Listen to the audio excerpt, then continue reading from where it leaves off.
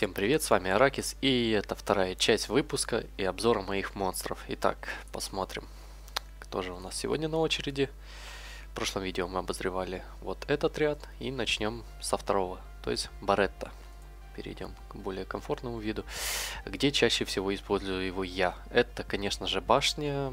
Он у меня в лидерах, естественно, за, за счет своего навыка 19% скорости. Это не лучший, конечно же, прирост по скорости, но вы понимаете, к примеру, ту же Ванессу там не поюзаешь, ее лидерка не работает нигде, кроме арены. Вот, он у меня с первого по сотый этаж, как многие видели на прошлых мои, моих видео. Также на харде я его тоже использую, по-моему, я его нигде даже и не менял. И самый главный плюс, конечно же, этого монстра, это его третий скилл, Феникс. Вот, когда вы авейкаете, то есть он кидает Феникса и может нанести сразу же два дота по 3 хода. Следовательно, за каждый ход монстр будет терять по 10% своего хп, неважно сколько у него там 2000 хп, либо 150 тысяч хп. 10% за каждый ход. Следовательно, один барета массово, если, конечно же, удача вам фартанет, Следовательно, с каждого монстра он может снять по 30%. А за счет того, что монстр одет у меня в Despire, поговорим об этом позже, он также является очень хорошим контроллером, следовательно, ну, зачастую одного-двоих монстров стабильно с 5 станет. Это я говорю по поводу башни. Также второй скилл, который помогает контролить таких монстров, как, ну, я не знаю, к примеру, на боссе, если вы не хотите, чтобы там босс использовал свой какой-то навык, к примеру, прошлую э, башню Харда 50, э, 50 этаж, я думаю, помнят все. Темный пионер, который своим третьим скиллом, не знаю как у кого, но в принципе моих монстров он троих с пятерых сразу убивал за, за счет одного скилла. Я надеюсь это немного пофиксят, понизят ему силу атаки с третьего скилла, но это очень было больно и за счет Баретты, а также Ахмана, который держал его постоянно в агре, я прошел тот этаж. Итак, вернемся к Баретте. Пройдемся по поводу навыков. Ну, первый навык ничем не примечательный. Простой урон. Если критует, получает баф на шанс крита. Вот. Перейдем к рунам. Зачастую на Баретте одет, ну, 9 с 10 случаев. Это, естественно же... Ой, а что же у меня такое? Кстати, я только вот сейчас обратил внимание. Да, менял я руны, не досмотрел. Видите, фокус не одет у меня. Ладно, переодену его чуть позже. Вот, зачастую одет на нем фокус, э, сет и Деспайр, он же печаль. Можно фокус поменять на любой другой сет. Э, самое главное ему догнать точность, но как вы видите, точности у меня 25, но вот сейчас сет переодену будет как минимум, скорее всего, 45. Э, на практике скажу так, что башню я проходил, когда у меня в Баретте было 16 тысяч хп в сумме, в сумме 16 тысяч хп и точности около 97 или 98. Э, Фениксом кидал он доты, плюс турбулентности он также снимал от Акбар, как и вот сейчас при теперешней его 25% или 40%. Я, я просто с руной игрался, видимо, не доглядел. Вот, то есть шанс дота, я не заметил, чтобы он перестал там доты накладывать, либо от Акбар снимать турбулентностью.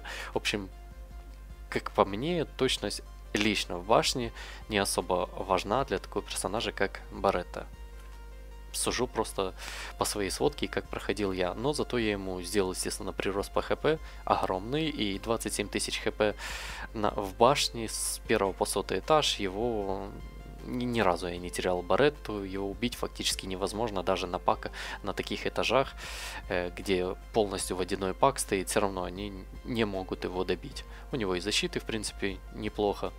Плюс подхил идет постоянный, поэтому 27 косарей хп снять достаточно тяжело с этого персонажика. Итак, э, плюсы персонажа, естественно, в его дотах. Часто его используют также на арене. Э, под кого его используют? Ну, зачастую под такую, как Hell, Hell Lady воды, которую мы обозревали э, за счет ее второго скилла она сильнее бьет по дотам. И часто его используют с эфритом ветра, так как чем больше дотов, э, не дотов, прошу прощения, а дебафов висит на монстре, тем сильнее ударит эфрит своим третьим скиллом. Вот, поэтому его и юзают на арене, но лишь в атаке. В защите Баретта фактически бесполезен. Тот же Тайрон, естественно, лучше в защите, так как у него больше контроля с третьего скилла и родной стан есть. Вот, пройдем дальше. Минус этого персонажа. Да, в принципе, наверное, нет. Ну, скажу так, я его использую чаще на драконе. На гиганте он не нужен, так как все-таки B10 это водяной э, монстр. Так что, в принципе, часто его использую, где формя эссенции всякие, он очень помогает проходить э, волны, плюс э, доты, монстры разлетаются очень быстро, плюс босс, даже, кстати, на водяном данже B10, э, формя эссенции, я использовал Баретту. И, знаете, довольно часто от Феникса проходил даже вот дебафы, то есть доты на босса, и босс умирал в разы быстрее. Насколько вы помните, у B10 водяного босса 1 миллион 600 тысяч хп, около того. Поэтому доты там, конечно же, решают. Если вы возьмете монстров, которые не игнорируют броню, либо не бьют э, от хп монстра, либо без дота, вы будете очень долго его ковырять. Очень долго. Плюс там правая башня дает, то ли иммунитет, я не помню. Вот, то ли еще что-то. Поэтому я начинаю с правой башни. Так, перейдем к следующему персонажу. Следующий у нас Ифрит. Темный, он же Тессарион. Получил я его первым после того, как наф нафармил 100 кусков и не хотел я его, честно говоря, хотел э, водного Теомарса, но знаете, не, водяного я тоже хочу, но огненный меня абсолютно не разочаровал. Э, в чем прикол этого персонажа, я думаю, вы знаете. Естественно, он используется зачастую за счет своей пассивки. Так как он своей пассивкой, когда он атакует, он выключает чужую пассивку. То есть это прямая контра таким как Дариону, тому же Верамосу, особенно Верамосу. Чаще всего я использую против него для того, чтобы он своей пассивкой не снимал дебафы себе и всему своему пати. Вот. Также за счет своей же пассивки, когда он вешает любой дебаф, он сильнее бьет. Вот, как видите, на 20% сильнее. Э, его зачастую, вот, перейдем к рунам, Зачастую его одевают как саппортом, в принципе таким он и является. Урона от него великого вы скорее всего не дождетесь, потому что вы скорее всего пожертвуете хп, защитой, резистом, точностью, и он у вас будет полу такой вот полу ДД, полу саппорт, непонятно что. Поэтому зачастую, конечно же, его одевают в хп, в защиту, там, не знаю, ну и естественно в скорость, для того, чтобы он чаще ходил. Вот, идеальным сетом для него это, конечно же, является Виол и контратака. Так как его пассивка работает, если контратака сработала, он тоже накинет Обливион. Вот, ну, так как у меня контр с контратакой не везет, раньше я дракона не фармил, сейчас начал фармить, но все равно толковых рун не падает, поэтому одет он у меня сейчас вот так вот. Итак, перейдем по рунам. Одет он в скорость, видите, вторая руна неплохой доп стат на силу атаки. Вы поймете, почему я одел именно эту руну ему. Вот. Здесь ничего такого, в принципе догоняла ему точности побольше как-то в свое время. И в четвертый слот я ему решил одеть крит урон. А, многие скажут, что нет смысла, когда у тебя там шанса крита меньше 70% и так далее и тому подобное. Но знаете, когда он дает 3 атаки и хотя бы там одну-две критует, уже неплохо. И первым скиллом зачастую в раскол он бьет от 12 до 17 тысяч по каким-то там часункам, а я считаю это таки неплохо, знаете, особенно когда срабатывает виол, и он часунку фактически в соло выносит. Это, это все-таки неплохо, я считаю. Вот, и четвертый слот у меня, о, шестой слот, прошу прощения, э, на точность стоит. Вот, сейчас общие статы покажу его. Видите, крит урон неплохой у него выходит. Конечно же, крит силу. По возможности ему постараюсь поднять. Но это такой экс экспериментальный все-таки вариант. Зачастую его одевают в скорость, хп и точность. Либо скорость хп, хп, к примеру, и догоняют ему около 30 тысяч хп, для того, чтобы он был более толстый. Урона он меньше, естественно, выдает. Ну и точности у него где-то выходит около 100. По поводу точности скажу так, что я полностью снимал эту руну вот, менял ее там, по-моему, на атаку, либо еще на что-то. То есть точности у него получалось около там 30 с копейками. Опять же, разницы я особо не заметил. Возможно, возможно, где-то, может, мне не так везло, где-то реже он кидал, закидывал раскол со второго скилла. И, честно говоря, если я найду руну вот сюда на атаку, либо даже на хп получше, чем вот эта моя, то я ее одену и не буду париться, серьезно так как точность, я так понял, на этом персонаже не особо решает. У меня ее 93, но в принципе и с такой точностью у меня проблем на арене тоже нет. Где я его использую, это естественно арена и ГВ. То есть в каких-то данжах я не вижу ему применения, э, разве что в то Э, в башне можно его проюзать, особенно на этаже, где, как вы помните, находится Веромос, так как там 5 э, персонажей, сам Веромос и его 4 миньона, у всех у них есть пассивки, те же перны и те же светлые таосисты. Вот. Поэтому там он, в принципе, тоже может помочь. Ну, я контролю тот этаж без него, так как все-таки, кроме своей пассивки и, ну, отчасти раскола, он там не нужен. Вот. Э, его слабые стороны, это, конечно же, если закинуть на него раскол, законтролить, так как и любого монстра, и малая сфера юзабельности. Все-таки он более аренный персон... Э, персонаж для арены и персонаж для ГВ. Но я им доволен, естественно. Хотел бы получить еще водяного, э, хотя и ветреному тоже буду рад, так как у меня, вы помните, появился пират. Под пирата неплохо заедет, заедет даже ветреный. Вот, перейдем дальше. Кстати, забыл я говори, оговорить по поводу Баретты по рунам, но я вернусь к нему в конце. Прошу прощения. Так, ведро. Перейдем к нему. К нашему ведру. Получил я его тоже отчасти недавно, использую его где-то недели три, наверное, около того. Вот. В чем плюс этого персонажа? Это, естественно, его навык, то есть третий навык, кипящая кровь, пассивка. И скажу так, к нему перейду по поводу скиллов проточки. Если у вас получилось так, что вы первый там скилл ему замаксили по полной, если у вас, уверяю вас, это значит вам повезло, если не начался макситься второй скилл. А второй скилл у вас, к примеру, четвертого уровня, не нужно делать пятого уровня для того, чтобы убрать вот КД одного хода. Почему? Э, приведу пример. Ваш э, ведро или ваше ведро, даже не знаю, как правильно будет выражаться. Допустим, Вердехайль стоит у вас в защите. Там на ГВ, на арене по боку. Вот. И когда он в защите, к примеру, и юзает свой второй скилл, он своей э, пати заливает всего лишь 20% атак бара. Но если он юзает первый скилл, он заливает 40 так как у него две атаки, с каждой атаки по 20%. Также те, кто фармят э, то, э, там, я не знаю, башню дракона, B10, там, B9 или ниже, э, то есть не на авто, а руками, они понимают, что первым скиллом лучше бить, чем вторым. Второй наносит немного, да, больше урона, ну, как немного, в принципе, почти в два раза, но первый скилл, он более профитнее, так как э, ваша пати будет быстрее ходить. А так как ведро сильно уж своим дамагом, разве что у вас там какие-то убер э, руны, и можно его одеть там чуть бы не в КД, и он будет выдавать действительно неплохой урон, но в основном у всех ведро это полусаппорт, который все-таки добавляет скорость всей своей пати, следовательно пати быстрее ходит. Их, его можно сравнить, я его часто э, заменяю на вот нашего петушка, о котором мы позже поговорим, Бернард. Вот, они неко даже похожи, если честно. Вот и по поводу второго скилла. Поэтому чем реже он будет юзать свой второй скилл, тем лучше для вас и ваша пати будет ходить чаще. Уверяю вас, лучше не, не дотачивать второй скилл. Э, Девилмонов на него тратить я вообще не советую, нет смысла, то есть урон у него повысится мизерно, копеечно, а от, от того, что у вас начнется второй скилл на пятый уровень, уверяю, ваш ведро только станет хуже на арене ну, в защите я имею в виду, конечно же, когда вы атакуете, э, я использую только первый скилл, вторым скиллом разве что там, не знаю, уже добить надо кого-то, и нужно просто внести больше дамаги для того, чтобы не тянуть время. Вот, перейдем к рунам.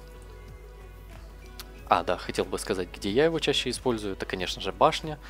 Не скажу, что с первого по сотый этаж, так как э, есть некоторые водные паки, где его часто убивают, и его часто меняю на Бернарда. Иногда Бернард нужнее, так как у него все-таки раскол есть, и третьим скиллом он все-таки тоже повышает всем скорость атаки. Поэтому иногда я его заменяю. Не, не во всех этажах я его использую.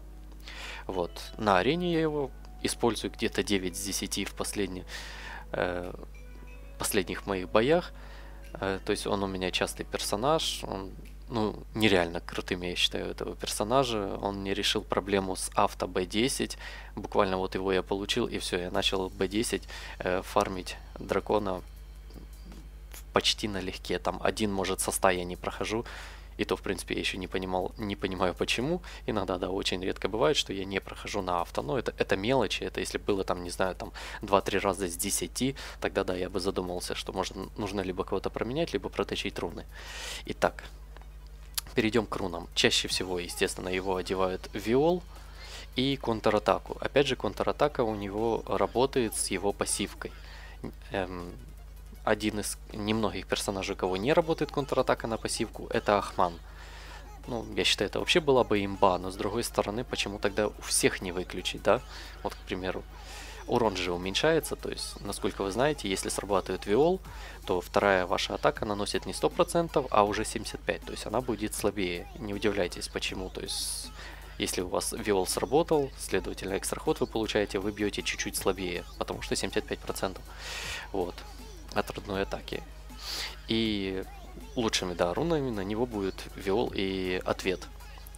Некоторые извращенцы одевают на него три сета ответов. В принципе, знаете, зачастую это тоже проканывает, так как э, многие, кто не знает, там, ну, ты же никак не можешь просечь, да, когда нападаешь на игрока, какие руны у него там одеты.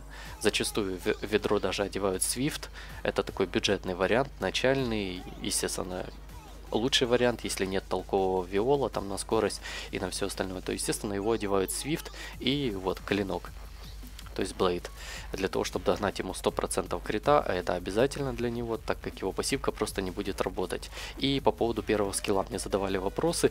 Э, человек у меня спрашивал, к примеру, у моего ведро там 50% крита. Э, я наношу две атаки своим вторым скиллом что означает вообще этот шанс крита. То есть человеку объяснил так, что две атаки имеют разный шанс крита. К примеру, первая атака у вас может нанести э, крит, вторая нет. Вот, поэтому при 100% крита, э, естественно, по таким стихиям, как ветер и огонь, там тьма и все остальное, но есть некие пассивки, которые мешают этому, вы будете критовать 100% двумя атаками. И также, если вы будете бить противоположную стихию, к примеру, вода, вот, у вас есть шанс либо две атаки дать в гланс, то есть не критануть, и ваша пассивка не сработает, следовательно, атак бар не зальется для всего вашего пати. Либо, там, к примеру, одну атаку одна атака у вас кританет, другая войдет в гланс, либо, если вы очень везучий, там две атаки пройдет критовых. Но не советую бить на арене э, ведром водяных монстров, потому что вы просто, грубо говоря, потеряете ход. Неважно, даже если иммунитет висит на огненном монстре, лучше, лучше бейте его, вы не нанесете урон, но зато атак бар всей пати вы поднимете. Кстати, тоже плюс. Вот. Перейдем также э, к рунам. Видел я ведро даже в таких экзотических рунах, как Ответ плюс Деспайр. Да, и за счет того, что он часто ходит, плюс у него две атаки с первого э, скилла, знаете, иногда даже и такое работает, и я уже даже не удивляюсь, к примеру, когда вижу ведро в Деспайре. Я не скажу, что это классный сет, я себе буду ставить, я все-таки приверженец э, Виола плюс ответа, я считаю это лучший показатель для него, то есть КПД у вас вырастет в разы, и все остальное это уже такой извращенный бред, но опять же, это всегда зависит от основного стата. К примеру, если у вас нету там ответных рун вот в четвертый слот, к примеру, на крит силу для того, чтобы поднять 100%, но у вас есть вот как у меня мощь, то есть хпшная руна Energy, то у меня вариантов не было, естественно, я поставил хп руну и догнал ему сотку крита. То есть это всегда зависит от того, что у вас есть. Не нужно ставить ему какой-то виол двух-трехзвездочный из-за того, что так правильно и рассказал какой-то там Вася Пупкин либо Аракис. То есть тоже неправильно. Одевайте на него лучшие руны, которые вы считаете у вас есть, и добивайтесь максимума от этого персонажа. Вот. Ну, его слабые стороны, опять же, его полностью контрит Тессарион, так как он ему выключает его пассивку. Вот, это его слабая сторона. Также этот персонаж не любит такой дебаф, как гланс, вот, который вешает, к примеру, тот же Тайрон. Вот, этот дебаф для него фактически смертелен, так как он не может критовать. Ну, не всегда, там, по-моему, процентов 40 от того, что он не сможет критовать. А если вы будете бить при этом еще и воду, то шанс того, что вы кританете, будет там чуть бы не 5% не удивляйтесь, что вы не критуете и при этом думаете, что, боже, у моего же там ведра 100%, почему он не критует? Вот. И, в общем, вот такая вот история. Персонаж очень юзабельный, он используется фактически всеми на арене, что в защите, что в атаке. Часто используется на ГВ, также я его использую на ГВ. Очень хороший персонаж, я его долго ждал, я его получил. Итак, перейдем дальше. Кто у нас следующий? Шеннон. Шеннон. Поначалу скажу так, что вы можете ее использовать абсолютно везде. Это один из лучших баферов, тем более этот персонаж двухзвездочный. Вы его можете получить как угодно с неизвестного свитка, купить в магазине, я не знаю, там скиллы прокачать этой полуптички, полубаби, полуфеи. Очень легко, скиллы у нее классные, сейчас перейдем к ним. Вот, первый скилл ничем не примечательный, э, второй скилл прошу прощения, притормаживает. Второй скилл это массовый скилл, он замедляет вот шансом, который догоняется до 100%, если вы все усилите, и при этом его можно юзать каждый, по сути дела, второй ход. Э, вот. За счет этого э, дебафа ваша скорость ускоряется, к примеру, с таким сочетанием, как ведро и Шеннон, которое закинет на всех замедление скорости, вы понимаете, ваш прирост скорости увеличится чуть бы там не в два, не в два, там, а то и в три раза, если вы, вы там еще и застанили кого-то и так далее. Вот, поэтому скилл второй очень хороший, и, к примеру, вот сейчас, когда я проходил башню до этого обновления месяца, я зачастую, вот третий ее скилл, перейдем к нему, ну, это обычный, я считаю, скилл, вот, вешает защиту и атаку на три хода, то есть ничего дополнительного он не дает. То есть зачастую, проходя башню, я третий скилл ее даже не юзаю, а я лучше использую первый скилл и буду иметь шанс с сета Despair а, которому дальше перейдем, нанести, там застанить монстра, чем закинуть щит, который, в принципе, на моем этапе мне уже не нужен. То есть я этого монстра использую только из-за того, что у него э, сет Despair одет и вот, как вы видите, массовый скилл, которым тоже контролишь, плюс, плюс закидываешь дебаф на скорость. Поэтому вот так. Третий скилл я очень редко юзаю, там на босса где-то, когда мне уже нужен баф, либо моему монстра там какого-то, я считаю, что сейчас добьют. В общем, вот такие вот дела. То есть я даже очень редко бафы. Поначалу вы можете использовать э, Шеннон даже на арене, почему бы и нет. Это очень неплохой персонаж, а баф на три хода очень такие решабельный э, персонаж. Из минуса его скажу так, что она очень слабенькая по хп.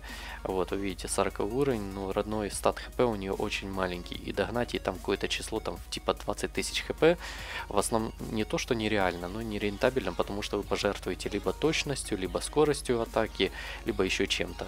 Вот, поэтому средняя Шеннон это 15 тысяч хп и с защитой около 1000, то есть тоже можно ее одеть в защиту, почему бы и нет. родной стат защиты у персонажа довольно-таки большой. Э, вот. Где использую ее я? Это приблизительно 95 этажей со 100 башни, то есть она у меня там любимица, она используется с первого этажа за счет своей массовки, ну первые этажи вообще пролетаются, вот. Где еще ее можно использовать?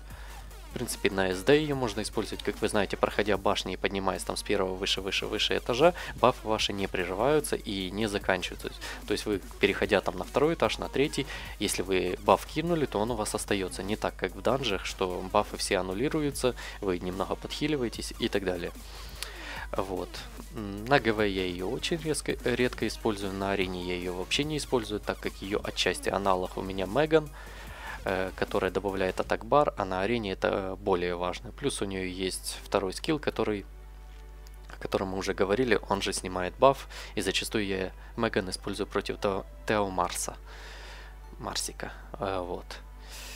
Также из минусов этого персонажа, ну да, скажу, единственный, наверное, ее минус это все-таки ХП. Ее очень наверное, все-таки легко убить, особенно если ставить ее в защите. Я вообще не вижу смысла и ей где-то там видеть, так как если она не даст э, свой третий скилл, она очень быстро умрет.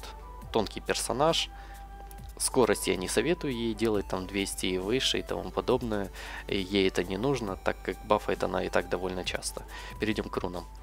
Э, зачастую ее одевают либо Swift, опять же это бюджетный вариант начальный, вот, так как хотят и повысить скор, попросту скорость, вот, и одевают либо Energy, либо Focus либо можно даже тот же резист одеть, но желательно ей догнать точность приблизительно там хотя бы там 70-80 и выше, э, потому что второй навык ее все-таки зависит от точности, и чем больше у вас точности, тем чаще вы будете закидывать слоу, то есть замедление на персонажей. Также, э, что еще я видел на арене, одевают ей некоторый ответ, хотя тоже не вижу я в этом ничего такого, то есть у нее какого-то там супер дебафа с первого скилла нету, но люди одевают в то, что есть, поэтому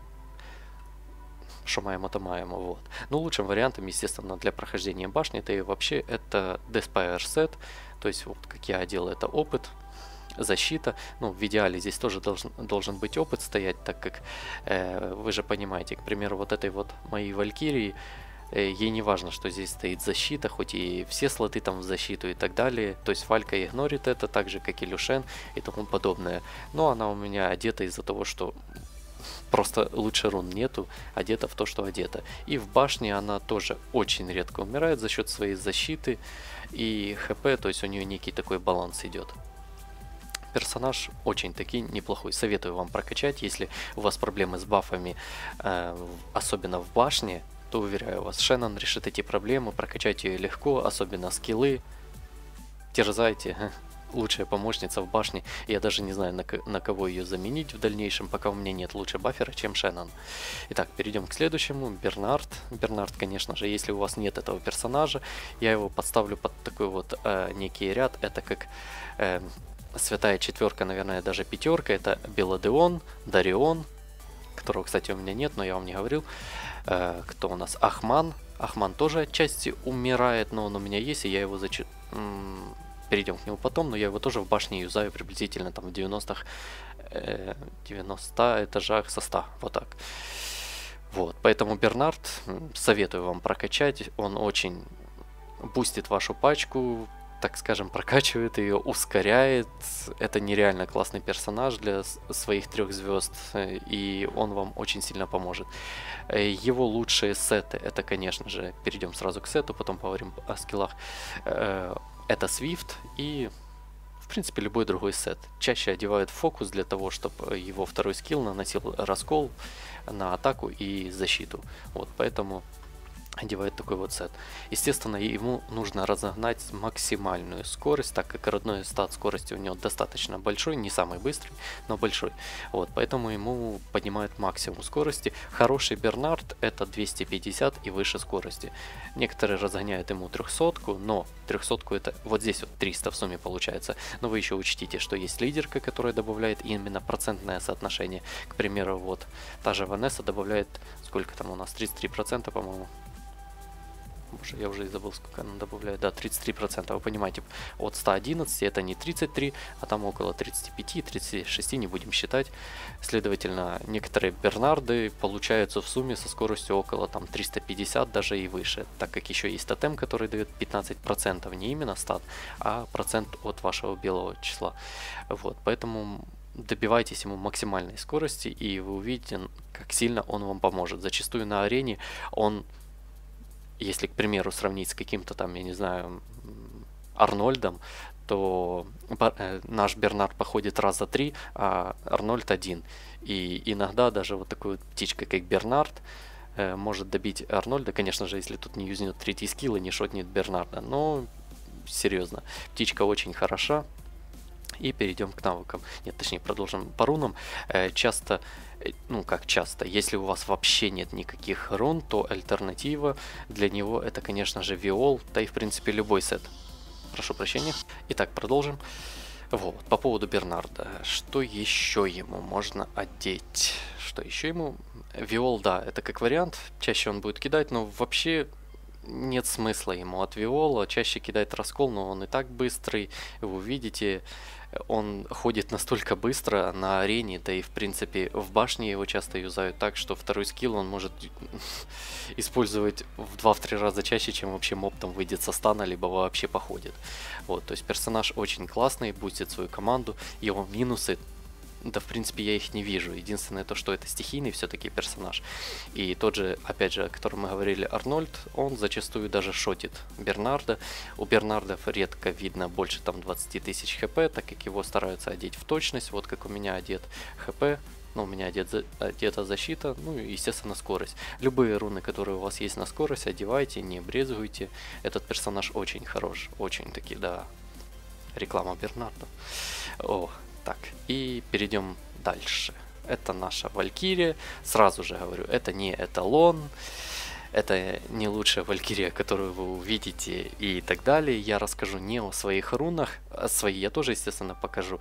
Вы видите, часто видите на ГВ, я использую фактически там, ну, в каждом бое, потому что э, многие у меня задают вопросы, почему ты действуешь однообразно и так далее и тому подобное. Но я отвечу на это коротко и четко. Если у вас есть один монстр вообще, какое разнообразие вы сможете добиться, если у вас один монстр? Вот я беру свой учет. В ряду 6 монстров, да? Посчитаем. У меня, допустим, взять три полных ряда, то есть у меня 17 монстров э, улучшенных, одетых более-менее и шестизвездочных. Я же не буду использовать там трех-четырехзвездочного, который не одет, не прокачан и так далее. Это логично. Из этого всего, из 17, 17 монстров, не всех можно юзать там на арене и не всегда подходят они, вы же понимаете. Всегда человек и игрок ищет контру какому-то там дефу. Я же не буду, к примеру, брать водяной состав, там, не знаю, Тайрона, Э, там бет еще кого-то против там ветреной пачки, где еще и тем более есть Валькирия. Это нелогично и нет смысла, поэтому я дерусь тем, чем есть, ну и что есть, то есть, то и использую. То есть стараюсь как-то пытаться комбинировать, если у меня есть варианты там где-то с Шеннон побаловаться, еще с кем-то Ахмана там использовать. Но вот прокачаю я следующих своих монстров, как вы видите, я уже подготовил. Скоро сделаю, возможно, даже видео добавлю, где я буду сразу четверых, может даже пятерых эвейкать на 6 звезд. Вот, поэтому будет так. Итак, перейдем к навыкам нашей Валькирии. Валькирия, кстати, добывается с Гекса. Э, немножко к офтопу перейду. Печальная была ситуация, когда сегодня зашел в чат, а человек открывал э, Лего свиток, а ему упала Валькирия ветреная. И самая печаль, когда человек недели три пытался сгексить Валькирию, и он это сделал, а на второй день он вызывает с Лего свитки ту же Валькирию. Печаль, да? Ага. Вот и я так подумал. Э, то есть не лучший персонаж, особенно когда там достают Феникса, там Ифрита, тьмы с темного, э, со свитка света тьмы. Это абсолютная печаль. Это то же самое приблизительно, если достать там четверку эвейкнутую. Особенно какую-то там трошовую, какой-то там сильфит огненный и, и тому подобное. А, вот. Перейдем к ее скиллам. Первый скилл, то есть ничем не примечательный, обычная простака. Простака, пипец. Обычная атака, вот. Но плюс у нее в чем? Если вы добиваете этим скиллом, первым скиллом э, персонажа, у вас автоматически активируется второй скилл. Что это значит? Вы пьете одного персонажа, вы его добили, а рандомно ваша валька переключится рандомно. Вы никак там не наклейкаете, не прошаманите. В бубен, конечно, можно параллельно стучать, но честно проверял, ну не всегда работает, не всегда. Э, вот, то есть рандомная атака э, пройдет на другого монстра. Вот. Единственное, э, когда этот скилл не работает, к примеру, если вы деретесь против перны, которая должна воскреснуть. Если вы добиваете первым скиллом перну, то есть э, и есть еще персонажи, которые там живые остались в противоположной пати, э, второй скилл не активируется, так как перна все равно воскресится. В общем, это какая-то то ли доработка, то ли нет, но так оно работает. Вот. Перейдем ко второму скиллу. Второй скилл восстанавливает 30% от нанесенного урона, и насколько вы знаете, у Вальки второй скилл лупит достаточно сильно, и она может восстановить себе чуть бы там не половину хп. То есть это очень хороший скилл, и самый главный бонус этого скилла, если опять же вы добиваете этим скиллом, то вы получаете баф иммунитета, то есть не, победи... не иммунитета, а непобедимости. Это баф аналог, как у той же там Нил, к примеру, э, у той же Хлои и у нового Гора водяного, который тоже кидает своего третьего скилла э, непобедимость неуязвимость, вот, неуязом будем называть в дальнейшем. И в чем прикол? То есть все скиллы, так скажем, у этого персонажа, они связаны. К примеру, да, вот проведу ситуацию. У, остается три монстра, у которых хп, ну, допустим, по 1000. Вы знаете, что Валька добьет любого.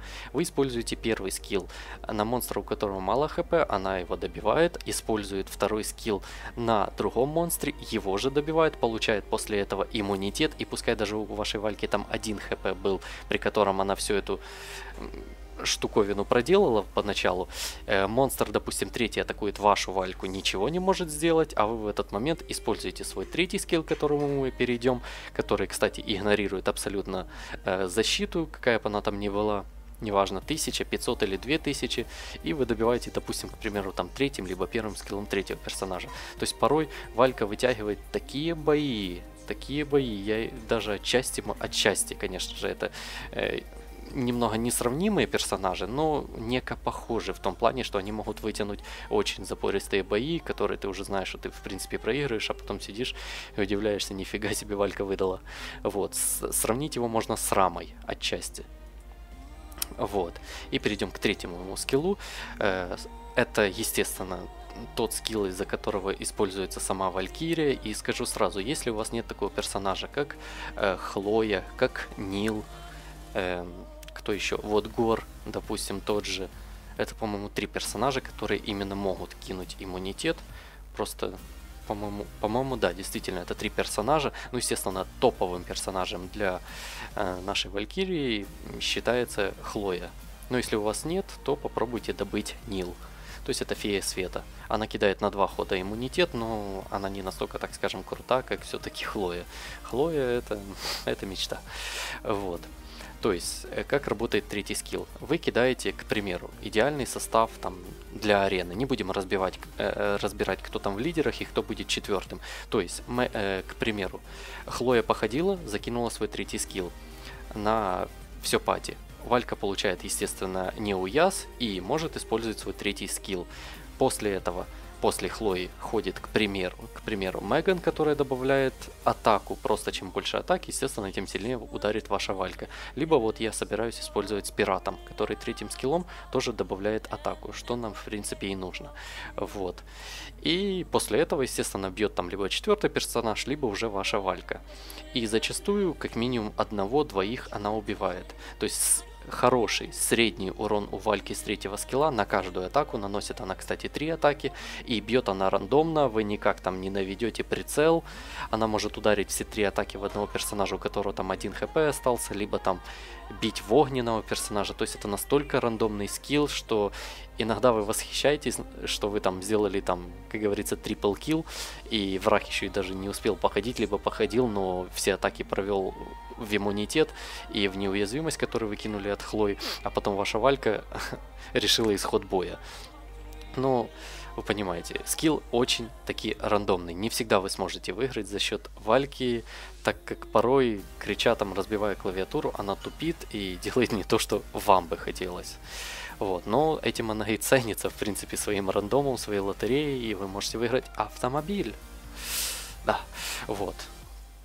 Что скажу по поводу урона? Средний ее хороший урон это колеблется около 30 тысяч с третьего скилла. Но скажу так, довольно тяжело добиться этого урона, чтобы еще и шанс крита был хороший. Сразу, сразу перейдем к ее статам.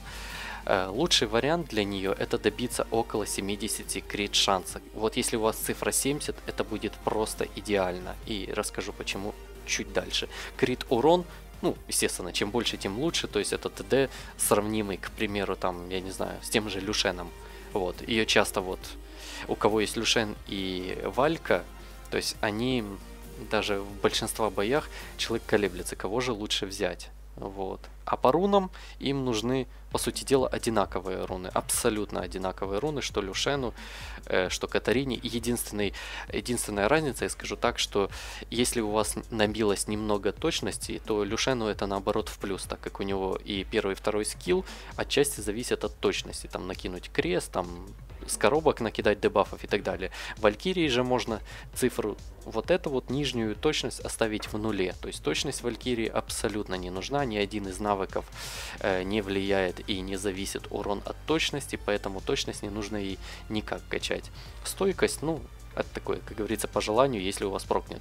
Э, Единственным лучшим статом это, естественно, является крит сила. Как минимум 70 вам нужно. 70, ну и больше просто не нужно, если у вас есть баф на крит шанс. Поговорим об этом позже. Ну и крит урон. Нормальный крит урон у Валькирии это приблизительно там 210-220.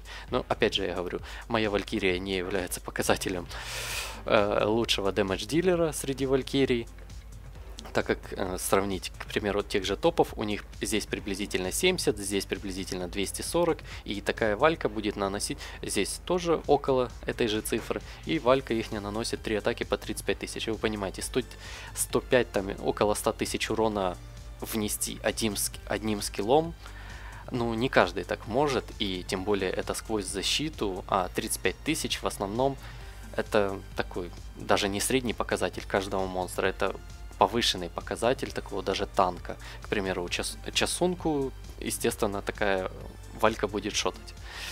Вот.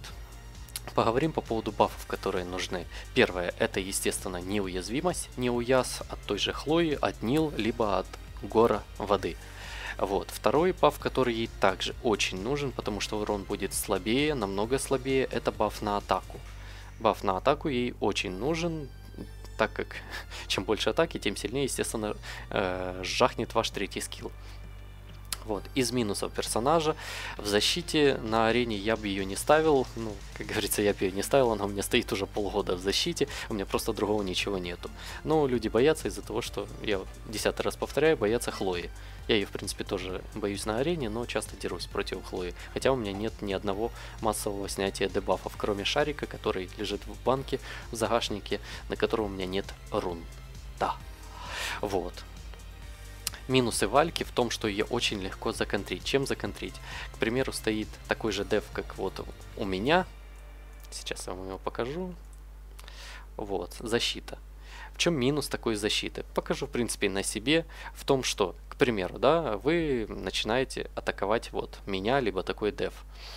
Э, моя Хлоя, к примеру, закинула иммунитет иммунитет и неуяз на вальку. Но валька походит, скорее всего, там чуть бы не в самом конце. У вас есть время для того, чтобы, к примеру, взять ну, если вы уже взяли, э, ту же белку, которая снимет баф э, с вальки, и своим третьим скиллом она нанесет, ну, мизерный урон, который э, вообще никак не помешает вашим монстрам, и такую вальку вы очень быстро забьете, шотните и так далее. То есть самое главное, когда вы атакуете вальку, это снять с нее неуязвимость. Если на нее не накинули неуязвимость, следовательно, Валькирия не боец и ничего в защите не может. Вторым скиллом немного может помешать, но большинство валик вторым скиллом там ну, не могут без бафа на атаку и так далее нанести больше там 20 тысяч урона. Это просто нереально. Вот. Итак, перейдем по поводу бафов. Какой еще и баф нужен? Если вы добились такого, э, такой крит силы, как 70, вам нужен Э, в бафов еще такой баф, как на крит шанс. Крит шанс добавляет 30% крит силе. Э, что означают эти 30%? Если, к примеру, у вас 50% вот здесь, он не добавит 30% от 50, он добавит четкое число, плюс 30. То есть не смотрите на то, что там процент написан и так далее. То есть, как видите, вот здесь вот и так отображается процент. Следовательно, если у вас 70 плюс 30, у вас получится 100%, 100 крит сила. Поэтому Валька нанесет 3 крита. Естественно, если по огненной стихии, там есть шанс гланса, это, а, об этом мы уже говорили. А, вот. Поэтому лучшими для нее баферами будут это Зиг, огненный пес, вот он, вы видите. Сейчас я покажу этот баф, вот этот баф, то есть он дает и силу атаки, что очень нужно, и крит шанс, и что немаловажно, на три хода. Но Э, лучше, чем Зиг, я считаю, ну, в разных пати, конечно, по-разному заедет, это Шарик. Он же Аквила, ветреный, так как он тоже дает и баф на атаку, и шанс на крит. То есть идеальным будет. Также он снимает третьим скиллом э, баф из противника. То есть это один из лучших персонажей, который сочетается с Валькирией. Вот, поэтому персонаж очень-таки хорош. Э, поговорю о своих рунах, а точнее вообще о рунах. Идеальным сетом для нее является это, естественно, Rage. Вот он, ярость. Э, второй слот одевается всегда на силу атаки.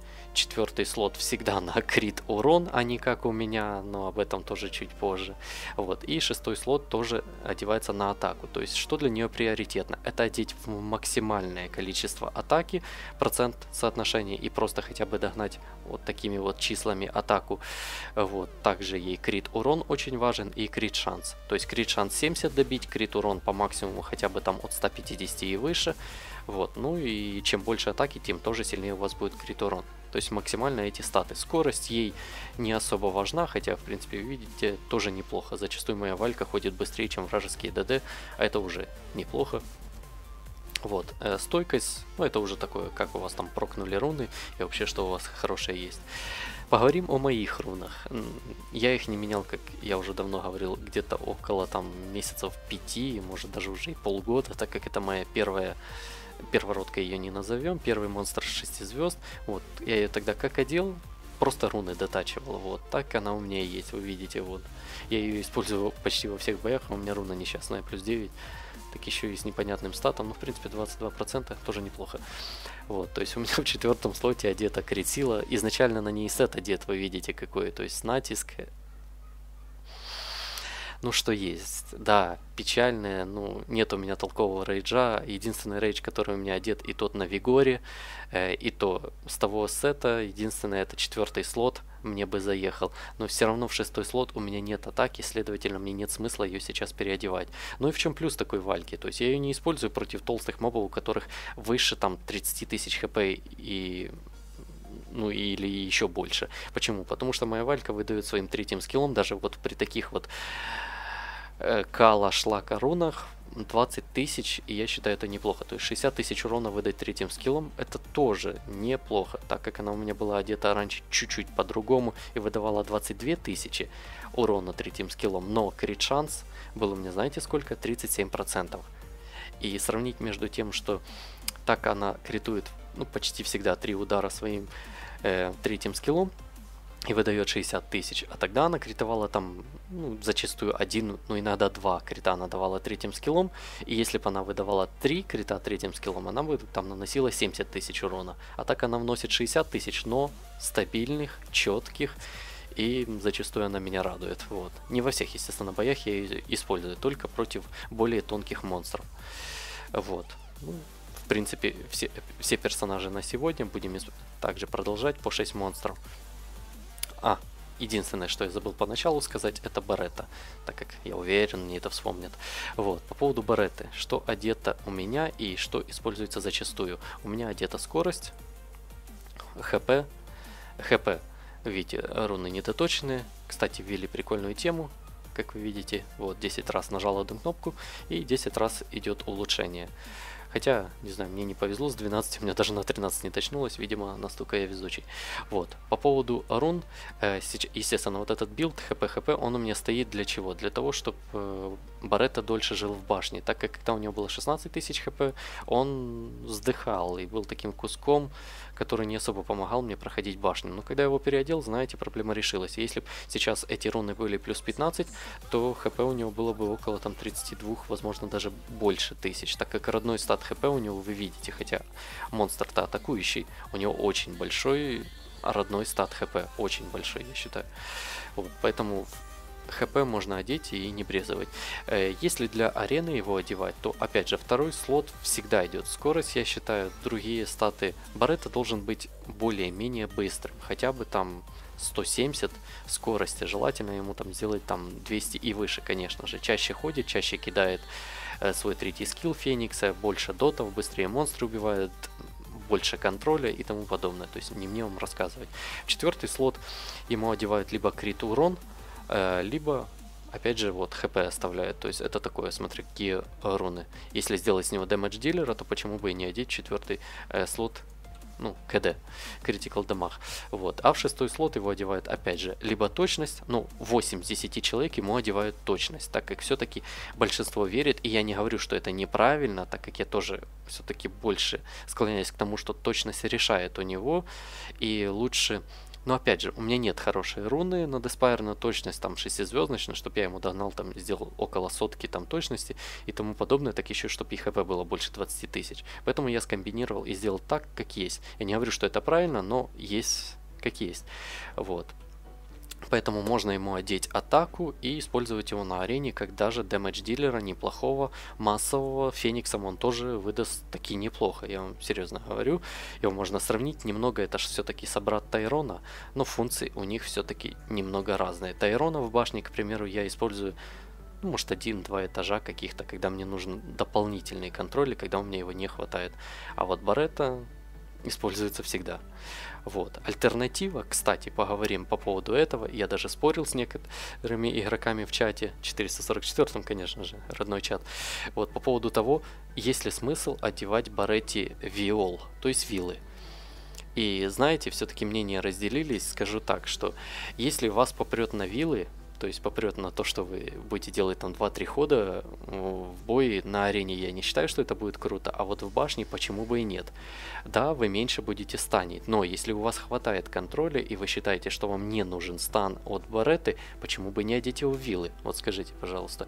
Чаще будет ходить, э, будет чаще кидать доты, будет турбулентностью снимать атак бар чаще, вот, следовательно, монстры будут быстрее лопаться из-за того, что у них там будет полоска с 10 дебафов, э, особенно если это все доты. Вообще красота, я считаю.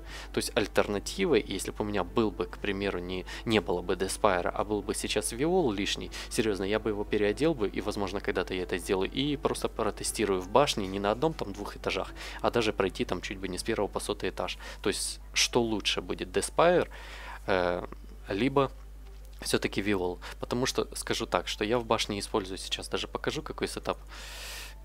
Денежка. Вот, то есть мой стандартный, вы видите, еще не проходил. Стандарт для данжа у меня вот такой вот. Едем дальше. Так, это true. И либо белка, либо Ахман. Ну, естественно, первые этажи я прохожу, выставляю просто массовиков, чтобы пролететь эти этажи. Хил мне не нужен на первых этажах абсолютно, потому что монстры тонкие, маленького уровня и тому подобное. И Шеннон. Вот, то есть это с таким составом я прохожу около, не меняя его, около 80 этажей, даже ничего не комбинируя и тому подобное. Стан вы видите, у меня э, идет от Баретты, от Верамоса, э, ну, Естественно, наш ведро э, исполняет роль даже как вот Бернарда, то есть он просто добавляет э, полоску э, хода для всей пати, для того, чтобы пати быстрее ходила, чаще, чаще ходит, чаще доты кидает, чаще станет, вы понимаете, больше контроля. Вот, Ахман у меня, естественно, для подхила используется, но из-за того, что я его переодел в вилы, он иногда 2-3 даже порой 4 монстра держит в агре из-за того, что шанс э, агро у него достаточно большой, по-моему, около 80%. Вот, то есть он тоже является очень хорошим контролем. И только за счет него я прошел 50 этаж э, прошлой версии харда. Недооцененный монстр, раньше его как-то больше юзали, но вы видите, не скормил я его, оставил, и он мне помогает и сейчас. Вот. Единственное, не берите его на сотый этаж, когда есть такой персонаж, как... Э, кто там у нас? Лилит, а второго зовут, как его там... А, э, в общем, чувачок этот дядька, не используйте э, Ахмана, так как у него 50% защиты от крита. Я не помню, по-моему, у той Баффет, у той бабы Лилит тоже, по-моему, защита. Ну, в общем, на сотом этаже я Ахмана не использую, так как 50% того, что он кританет и подхилит, это мало. Лучше взять ту же часунку, либо ту же белку. У белки есть раскол и стопроцентный подхил. Вот. Ну и Шеннон. То есть вы видите, получается у меня 4 персонажа, которые потенциально могут контролить. И 4 стана. И 3 из них это массовый стан. Поэтому стана мне хватает в принципе. И почему бы и нет, я бы одел бы Баретту в Виол и попробовал бы я думаю, закатит.